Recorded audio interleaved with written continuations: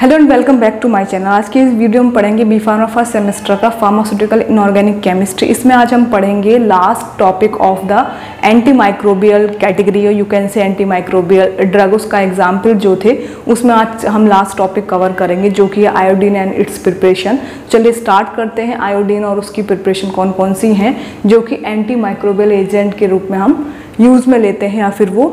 Use होती हैं so so, First one is iodine and its molecular weight is 253.8 and molecular formula I two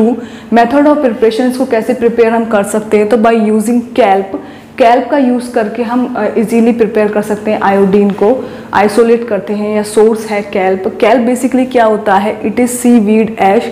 under water grow होने वाला you can से एक algae होता है जो कि रिच होता है आयोडीन से उससे हम इसको ऑप्टेन आउट करते हैं आयोडीन को with water and sulphuric acid अब सी वीड एच या फिर कैल कैल्प से लेते हैं हम या फिर ऑप्टेन आउट होता है आयोडीन और उसके साथ हम with water and sulphuric acid with the help of water and sulphuric acid हम आयोडीन वहाँ से ऑप्टेन आउट करते हैं तो ये हो गया method of preparation natural source से बेसिकली आयोडीन ऑप्टेन आउट होता है प्रॉपर्टीज़ क्या है we we are talking about the physical properties of iodine then so greyish violet colour crystalline powder होता है ग्रे या फिर वॉयलेट हल्का सा वॉलेट कलर का ये क्रिस्टलाइन पाउडर होता है क्रिस्टल्स होते हैं इसके इरीटेंट ऑर्डर होता है अगर हम इसको स्मेल करेंगे तो इट विल कॉज टू और नेजल कैविटी तो ये इरीटेशन कॉज करता है इरीटेंट ऑर्डर होता है इसका पंजेंट टेस्ट होता है स्प्रिंगली सॉल्यूबल होता है वाटर में वाटर में अगर हम इसको सॉल्यूबल करते हैं तो वो स्प्रिंगली सॉल्यूबल होता है सॉल्यूबल इन इथेनॉल इथेनॉल में सॉल्यूबल होता है फ्रीली सॉल्यूबल होता है किसमें ईथर में वॉलेटाइल होता है नेचर में नेचर में क्या होता है वॉलेटाइल वॉलेटाइल बारे में मैंने पहले भी आपको कई बार बताया कि वॉलेटाइल बेसिकली उनका जो आप कह सकते हो कि एक प्रॉपर्टी क्या होती है कि सिंपल रूम टेम्परेचर पर भी हम उसको रख रहे हैं तो वो इवेपरेट होना स्टार्ट हो जाता है हल्का ये वॉलेटाइल होता है नेचर में लिटिल बिट यूजेस क्या है topical agents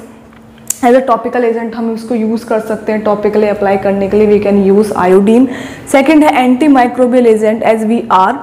study it it in this category anti microbial agent तो इसका as a anti microbial agent use होगा ही होगा solution used as germicide and fungicide solution को हम इसके सॉल्यूशन को यूज़ कर सकते हैं as a germicide that will work against the germs and also as a a that will work against the fungi treatment of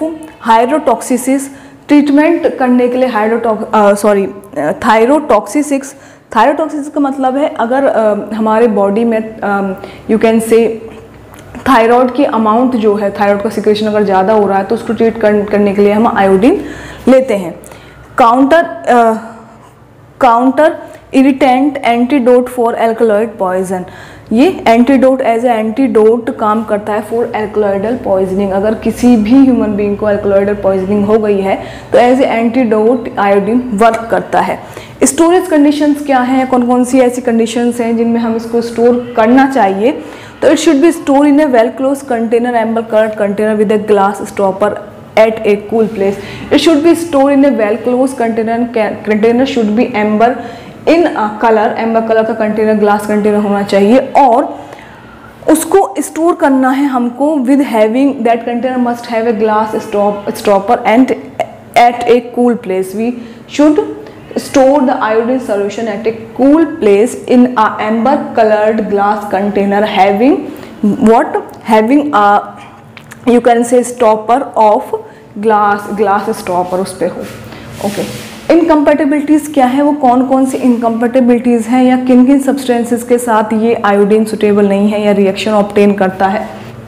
so so, वो है with hypophosphite sulphide some metal reducing agent with alkalies alkaline carbonates तो these are the substances जिनके साथ ये incompatible होता है अगर हम इनके साथ इसको मिक्स करते हैं तो ये जो है एक टॉक्सिक इफेक्ट कॉज कर सकता है या फिर इसका डिग्रेडेशन हो सकता है तो ये कुछ सब्सटेंसेज हैं जिनके साथ इसकी इनकम्पेटेबिलिटी होती है now we will talking about the preparation of iodine as today's topic is all about the iodine and its preparation तो आयोडीन के बारे में हमने पढ़ लिया क्या मेथड ऑफ प्रिपरेशन है या कहाँ से ऑप्टन आउट होता है physical properties and all other things that are use and storage now we will talk about the how many preparation are there of iodine so they are basically four preparations of iodine number first aqueous iodine solution number second a weak iodine solution third one is strong iodine solution and the fourth one is phenolated iodine solution these are four preparations you can say of iodine are mentioned और मैंने यहाँ पे discuss की हैं तो we will first go with aqueous iodine solution first तो it basically contain 5% percent weight by volume of iodine and 10% percent weight by volume of potassium iodide ये contain करता है अब यहाँ पे एक टर्म आई है that is weight by volume what the meaning of this weight by volume का क्या मतलब होता है that means we are dispersing any solid in or liquid weight by volume that means we are dispersing या we are mixing any solid solute in a liquid solvent okay हम उसको mix कर रहे हैं that's the meaning of weight by volume तो ये इसमें present होता है iodine 5 percent weight by volume and potassium iodide is 10 percent weight by volume in H2O H2O में हम उसको जब डिस्पर्स करेंगे यू कैन से मिक्स करेंगे तो तब हमको ऑप्टेन आउट होगा aqueous iodine solution that meaning of aqueous is water related to water या इट्स मीनिंग वाटर तो इसमें वाटर इन्वॉल्व रहेगा आगे है ट्रांसपेरेंट ब्राउन कलर लिक्विड होगा ये ट्रांसपेरेंट ब्राउन कलर का लिक्विड होगा स्मेल ऑफ आयोडीन अगर हम इसको ऑर्डर इसका देखें तो इसमें आयोडीन का स्मेल होगा आयोडीन का ऑर्डर होगा कंपोजिशन क्या है iodine 50 gram potassium iodide 100 gram as you can say 50 gram potassium iodide in because 10 percent weight by volume हमको लेना है तो potassium iodide will be double to the iodine 100 gram purified water up to L we will measure purified water up to thousand M L so this is the composition of aqueous iodine solution moving to the next preparation that is weak iodine solution तो इसका composition क्या है या इसको हम कैसे prepare करते हैं तो इसका composition it contain 2 percent weight by volume of iodine and 2.5 percent weight by volume of potassium iodide it is also transparent brown color liquid smell of alcohol it contain the order of alcohol while we are testing order wise तो it contain a smell of alcohol तो इसका composition ये ingredient same है तो मैंने यहाँ पे सिर्फ इनकी क्वांटिटीज़ चेंज कर दी है मैंने दोबारा से नहीं लिखा है iodine will be 20 gram potassium iodide will be 25 gram and purified water we will use up to 1000 M in quantity या फिर क्वान्टिटी सफिशियंट यू कैन से सो so, ये दो प्रिपरेशंस की आयोडीन के बारे में और आयोडीन के दो प्रिपरेशंस हमने इस स्लाइड में कवर कर ली हैं in the next slide of this video we will cover remaining two preparations of iodine so next two preparations of iodine are Third one is strong iodine solution that contain 10% weight by volume of iodine and 6% weight by volume of potassium iodide, and the composition will be iodine will be 100 gram, PiN potassium iodide will be 60 gram, and purified water which we will take in the preparation of uh, that is strong iodine solution, we will take 1000 ml, that is और you can say quantity sufficient हम maximum amount ले सकते हैं thousand M तक लेकिन ऐसा कोई compulsory नहीं है क्वांटिटी सफिशियंट का मतलब है जितनी क्वांटिटी आपको सुटेबल लग रही है कि इतनी क्वांटिटी में ये कम्प्लीटली ठीक तरह से बन गया है या प्रिपेयर आउट हो गया है तो उतनी क्वान्टिटी आप कम भी कर सकते हो मैक्सिमम जो क्वान्टिटी रहेगी वो रहेगी थाउजेंड एम जो इसकी प्रॉपर्टीज़ होंगी यानी कि यही ट्रांसपेरेंट ब्राउन कलर का होगा और स्मेल जो होगा ऑर्डर जो होगा वो एल्कोहलिक होगा इसका एल्कोहल लाइक ऑर्डर होगा Fourth one is phenolated iodine solution. This is quite uh, different from the three solutions ये जो मैंने अब पहले आपको एक्सप्लेन किया उससे थोड़ा सा अलग है ये phenolated iodine solution that contain 15 M L strong iodine solution and 6 M L purified phenol in 1000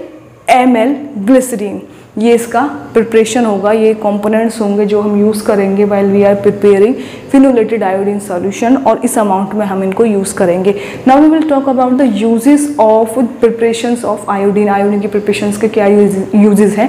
iodine के क्या यूजेस हैं वो हम मैंने प्रीवियस लाइन में बता दिया है आयोडीन के जो प्रिपरेशन हैं चार उनके क्या यूजेज हैं ये है as we can use them as a topical anti microbial agent topically हम अप्लाई कर सकते हैं that will work as our anti microbial agent on our topical surfaces